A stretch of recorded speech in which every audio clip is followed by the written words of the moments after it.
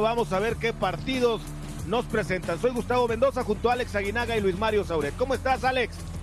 Muy bien, mi querido Guzmán Fox, igual a Luis Mario Sauret. Vamos con las alineaciones del director técnico Guillermo Armada. Natal Santos con Acevedo, Isijara marcando por derecha, Rodríguez, Mateus Doria, Ronaldo Prieto la zona defensiva, Fernando Gorriarán junto a Alan Cervantes en la mitad de la cancha defensiva. Juan Otero, Omar Campos. Campos serán los encargados de atacar por las bandas. Y adelante Eduardo Aguirre con Santiago Muñoz.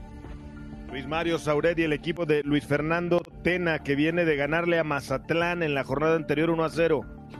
Es correcto, Gustavo, un placer saludarte, al igual que Alex Aguinaga y la gente que nos sigue a través de la pantalla de Fox Sports. Repite nueve futbolistas respecto al compromiso anterior. Enrique Palos, García Velázquez en la defensa, Paves y Acosta en los costados. Intriago estará en el terreno juego en la media cancha junto con Iniestra.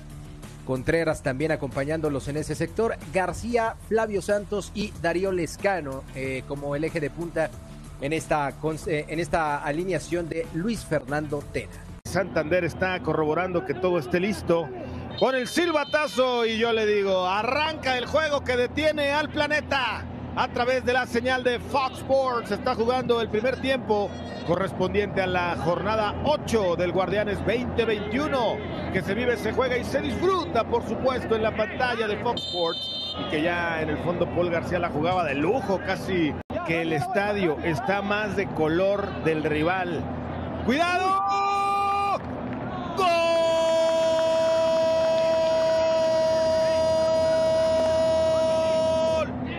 de Santos Laguna.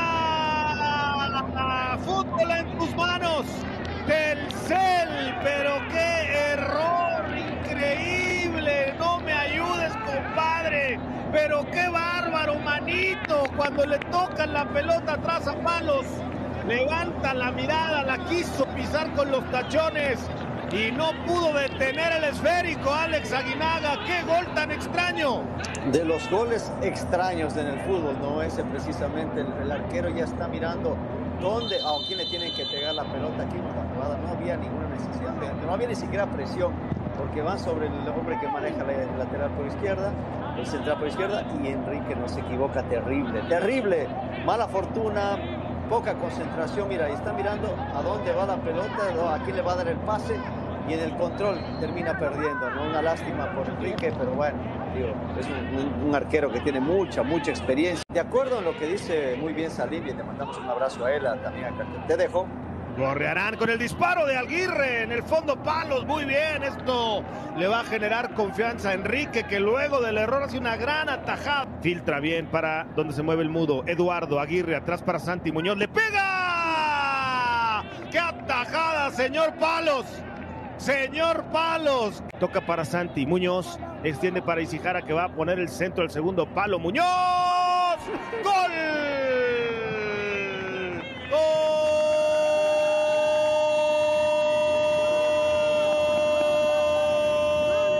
De Santos Laguna. Apareció Santi Muñoz y le dijo que sí al balón con la cabeza. Fútbol en tus manos.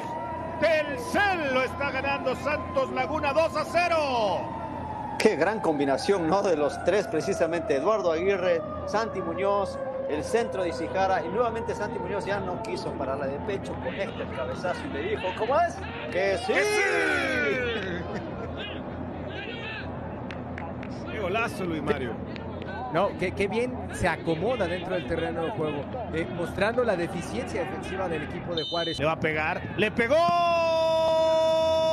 se la quedó palos en dos tiempos. La andaba soltando y entre el mudo y Campos andaban buscando el remate, pero se recuperó muy bien. Enrique Palos. Sí, eh, eh, bota, escupe la pelota, pero bueno, ya le marca la, posición adelantada. Ah, creo que la posición precisamente es de muchacho Campos.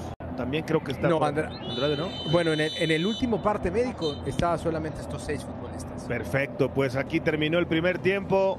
Todo listo para que arranque el segundo tiempo. Ahí está el silbatazo de Santander. Y yo le digo que los que restan nos diviertan. A través de la pantalla de Fox Sports se juega el segundo tiempo correspondiente a la semana 8. En zona defensiva vamos a ver Otero si puede encontrar con Gorri el disparo.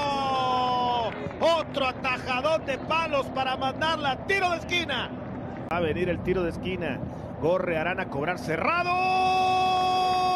¡Gol!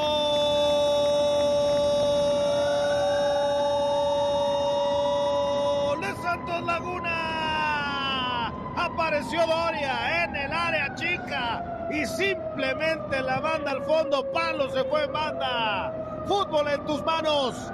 El CEL lo está ganando Santos Laguna 3 a 0. Luis Mario Saurel. Y hablábamos de la gran intervención de Enrique Palos en la jugada anterior y en esta desafortunadamente se pierde.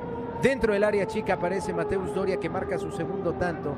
Eh, habrá que señalar que, que, el equipo de Santos, vean la facilidad que se presenta, se pierde la marca Paul García simple y sencillamente aparece Doria con el remate de pierna. Pues estuvo cerca, no tuvo claridad, no la pudo conseguir para descontar y ahora viene Muñoz con el disparo, palos en el rebote. Atento y a tiempo Velázquez.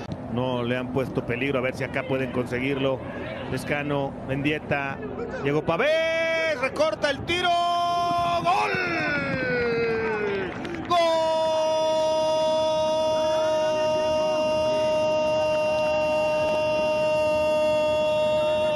¡De los Bravos! ¡Gran recorte! de Luis Pavés en el área que deja la marca arrastrada con el recorte y luego vence a Acevedo para meter a Bravos en el partido. Fútbol en tus manos.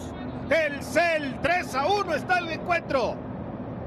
Hablábamos ¿no? de la, la, capacidad de este equipo de Juárez que estaba jugando mucho mejor que lo que hizo en la primera mitad. Aquí vemos las triangulaciones, quizás no saliendo con tan, tanta claridad, pero aquí el recorte es perfecto, ¿no? Hugo Rodríguez iba a la marca. Eh, Otero el que estaría cediendo su puesto. Jordan Carrillo, otro que ha tenido minutos. Lescano se queja, no sé, no sé si se queja de una falta. Yo ciertamente en la toma abierta no vi nada. O si simple y sencillamente cuando controla el balón Aguinaga, pues se lastima solo. Hay que verlo ahora en la repetición. Aquí en el control hay un golpe de parte de Cervantes. Ahí mira. ¿Sabes que esto es penal? Esto claro. es penal. Penal, señoras y señores, y a cobrar Lescano seguramente. Y se va a poner bueno el partido. Vamos a ver si lo puede conseguir el gol. Ahí está. Inobjetable, sin duda, clarísimo el penal. Muy bien la gente del Bar y Santander. ¿Tenía la intención o no Cervantes? No lo sé, pero hay contacto, hay pisotón y es penal, bien marcado. No llevaba intención Cervantes que no considera sacarle ni tarjeta amarilla al futbolista del cuadro de la comarca. Acevedo, un hombre que ataja penales, a ver si no se levanta, no se adelanta, ¿eh? porque normalmente lo hace así, pero por al frente también un goleador como, como Lescano. Buen duelo. Acá viene justamente Darío Lescano, listo para patear. Ya pitó Santander, se espera Lescano, toma carrera, cambia de curso, aguanta Lescano, el tiro, gol.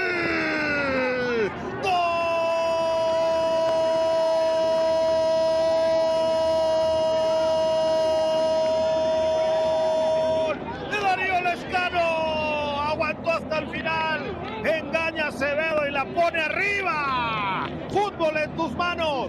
El CEL 3 a 2 está el encuentro y hay partido aquí en Fox Sports. Sí, la famosa paradiña que hace, ¿no? Aquí vamos a ver la repetición, da un repiqueteo, ahí así como que va para adelante, se frena un poco, aunque no para totalmente su marcha, ya veíamos inclusive a Acevedo, está un metro adelante, ¿no? De la línea, quizás, quizás el saque de manos de Acosta poniéndolo en el área. ¡Iron del Valle! Señor policía, arreste a Acevedo que le ha robado el gol a Iron del Valle y a los Bravos. Era el 3 a 3. Vaya tajada de Acevedo a quemarropa. Impresionante. De un saque lateral, doble la peinada, doble cabeceo en el área. A veces dicen que es gol. Lo evita Carlos Acevedo, una, una acción espectacular. Aquí vemos el remate bien colocado ella, ¿verdad? Que le sale, no le sale quizás tan al costado. En el penal sobre el escano que vio en el bar muy bien Santander. Aquí puede ser para el tercero. Viene el empate. Acevedo en el fondo. Le achica, le hace el Cristo sobre Lescano. Además, había fuera de lugar. Al filo, porque luego esas no le das bien al balón y dejas la pierna y bueno, puedes provocar una, cometer una falta, ¿no? Provocar algo. En el área aquí, Luis Enrique Santander dice que no más que termina el partido de muy buen ritmo, un buen partido, sobre todo en el segundo tiempo.